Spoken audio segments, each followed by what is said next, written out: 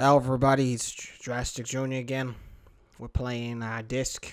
It's a, game that came out. I I believe it was yesterday for a Game Jolt game. It looks pretty pretty good.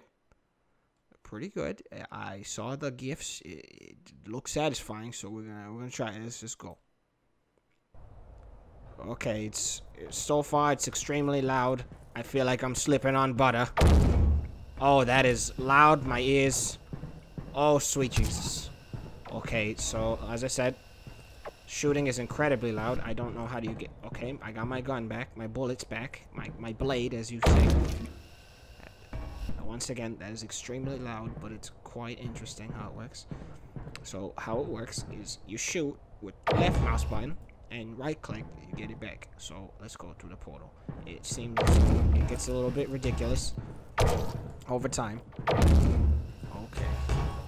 Squad. Oh, uh, okay. I, I, I, I believe I'm getting the hang of this. So you can bounce, bounce and dodge your, your disc, and it's, it's pretty good. I'd say. I would say it's a good game so far. Uh, it probably might seem repetitive to some. Combat is a little ambitious. Uh, the color blues here, the color red's here, so it's pretty good significance who's good, who's bad. Even though normally blue's good, red's bad, so I like I like that you're switching it up here.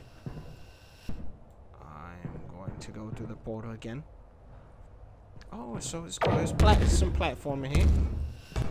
There's a bit of platforming. That's that's nice. Good. Oh, where'd you come from? Okay. All right. It feels as though this might get a bit hectic after a while. I don't know how that door. He missed that bullet. Uh, okay. Well, I'm dead. Good, good game.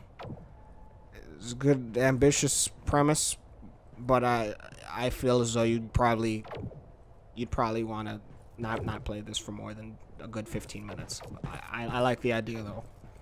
Uh, five discs out of five.